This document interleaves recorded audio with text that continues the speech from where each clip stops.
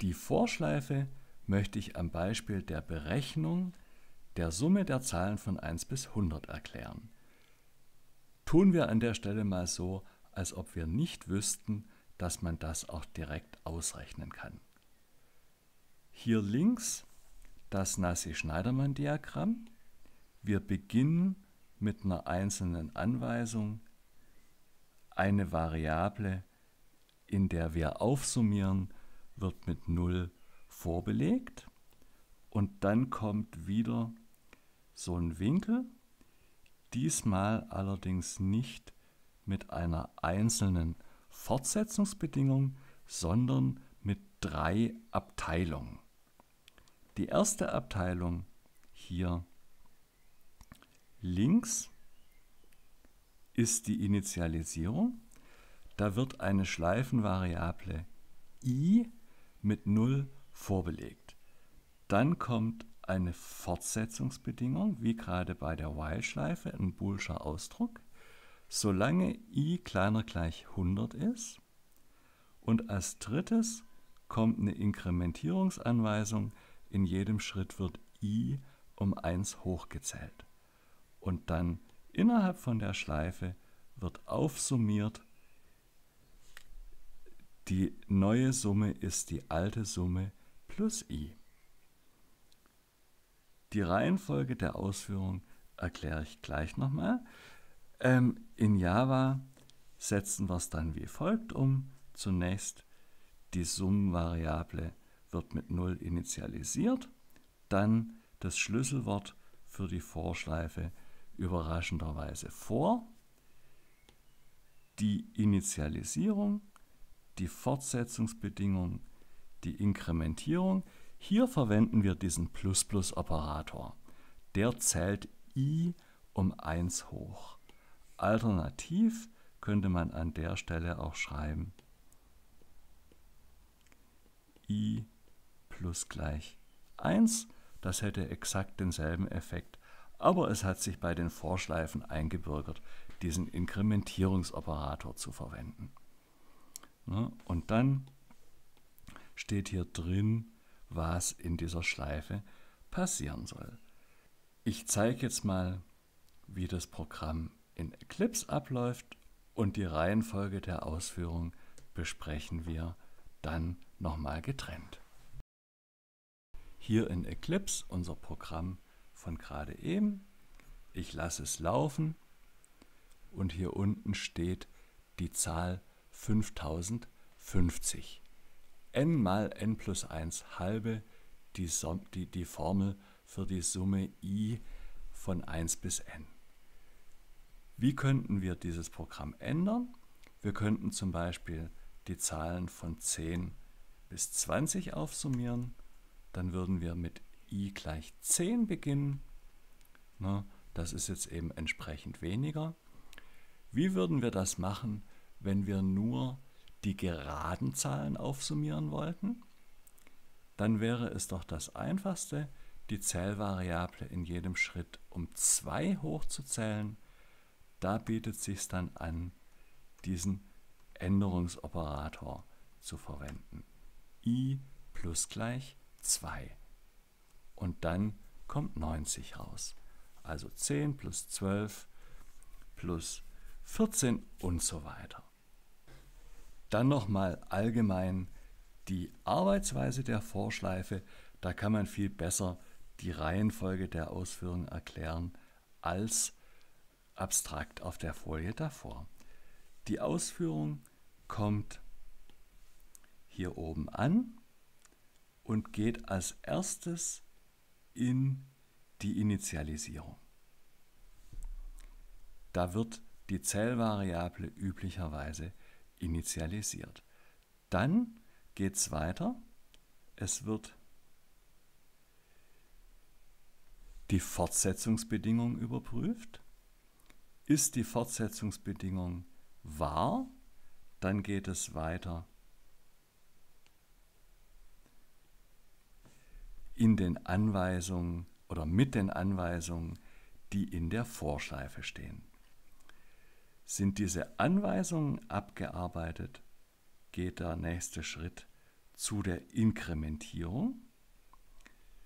Da wird üblicherweise die Schleifenvariable hochgezählt. Von der Inkrementierung geht es wieder weiter zur Überprüfung der Fortsetzungsbedingung. Ist die Fortsetzungsbedingung wahr, muss ich noch dazu schreiben, dann werden die Anweisungen ausgeführt. Ist die Fortsetzungsbedingung nicht erfüllt, also steht hier falsch, dann wird die Ausführung des Programms hinter der Vorschleife fortgesetzt.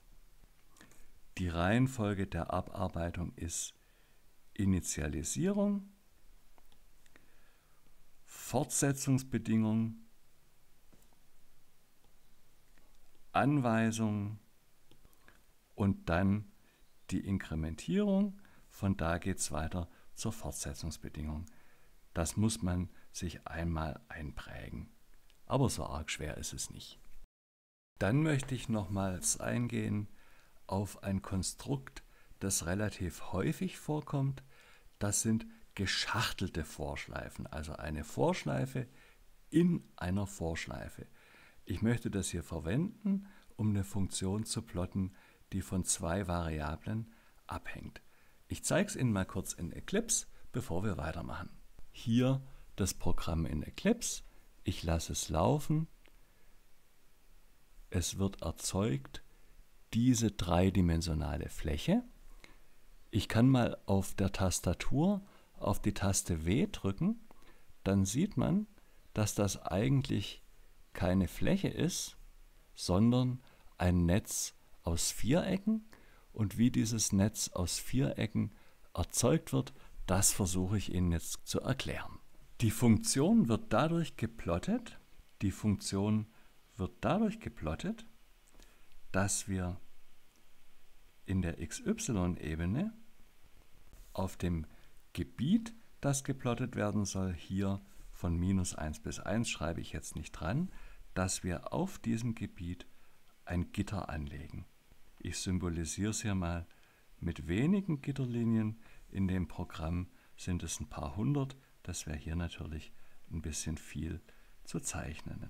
Was gemacht wird, ist für jeden dieser Punkte mit einer x- und einer y-Koordinate wird eine z-Koordinate berechnet und mit diesen drei Werten wird dann in diesem Netz eine Koordinate gesetzt.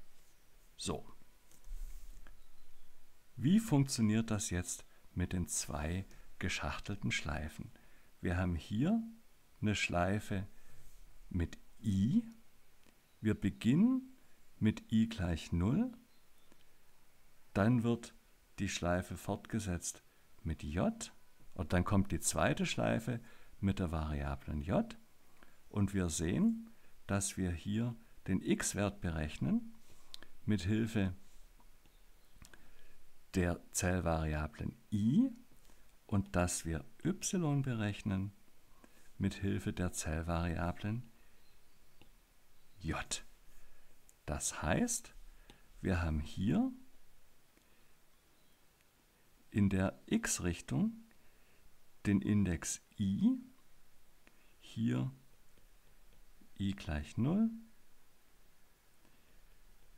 i gleich 1, i gleich 2. Das ist für die x-Richtung und dann entsprechend für die y-Richtung eben j gleich 0, j gleich 1, j gleich 2. Was jetzt passiert, ist, dass man mit i gleich 0 beginnt und dann wird die komplette Schleife für j abgearbeitet. Das heißt, wir gehen durch die Punkte von hier, die erste Spalte hochwärts.